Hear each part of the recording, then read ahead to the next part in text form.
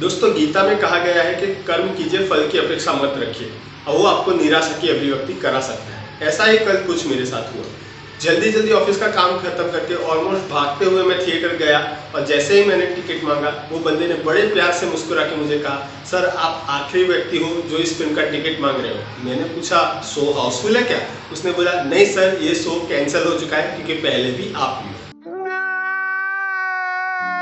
नमस्कार दोस्तों, स्वागत है आपका हमारे नए वीडियो में। आज मैं रिव्यू करने वाला था डिज्नी की आई हुई नई फ़िल्म एलिमेंटल लेकिन उसका कोई शो अवेलेबल नहीं था। एक था जो कैंसिल हो चुका था।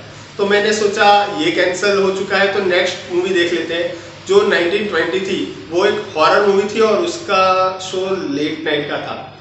तो मैंने सोचा, घर ही चलते हैं। तो घर आके मैंने सोचा अब क्या किया जाए? तो मैंने सोचा, चलो नई फ़िल्म ना सही, कोई पहले देखी हुई, अच्छी सी फ़िल्म रिव्यू कर लेते हैं। तो मैंने अपने पहले देखी हुई फ़िल्मों से एक फ़िल्म चूज़ की, वो है हैंकॉक तो आज हम रिव्यू कर रहे हैं 2008 में आई हुई अंग्रेज़ी फ़िल्म हैंकॉक दोस्तों हैंकॉक एक सुपर हीरो मूवी है, लेकिन स्पाइडरमैन बैटमैन और सुपरमैन जैसे सुपर हीरो से ये थोड़ी हटके है।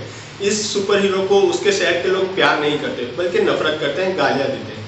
उसकी वजह है कि अपना सुपर हीरो एक शराबी है। वो अपनी हरकतों से लोगों को परेशान करता रहता है, मदद करना भी चाहे तो भी अपने तरीके से लोगों को परेशानी करता है, जिसकी वजह से लोग उसको नफरत करते हैं। उसके एक वजह है, अपने सुपर हीरो है, वो अपनी याददाश्त खो चुका है। उसको बस इतना ही याद है कि 80 साल पहले जब उसकी आँखें खुली तो वो एक अस्पताल में बेड पे था और उसके जेब में एक फ़िल्म का टिकट था। उसके अलावा उसको कुछ याद नहीं अपने अकेलेपन से तंग आके वो शराब का सहारा लेता है और शराबी बन जाता है। लोगों की नफरत उसको और परेशान करती है।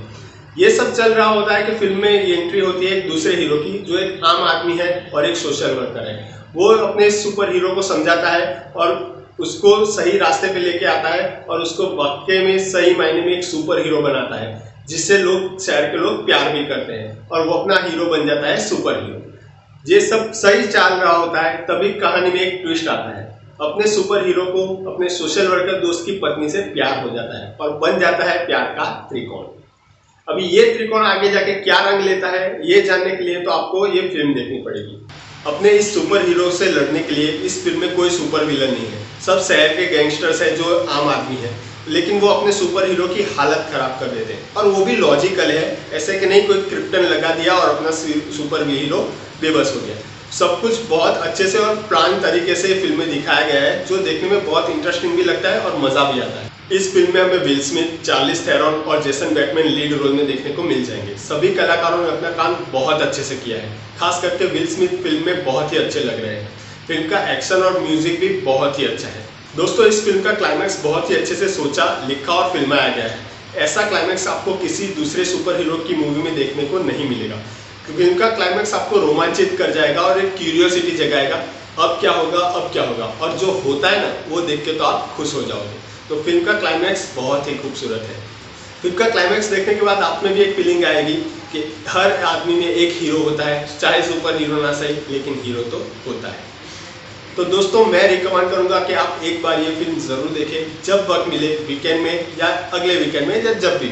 लेकिन एक बार ये मूवी ज़रूर देखिए। तो इस वीडियो में रखते हैं इतना ही। मिलते हैं किसी नए वीडियो में, किसी नई स्टोरी के साथ। तब तक बाय एंड जय हिंद।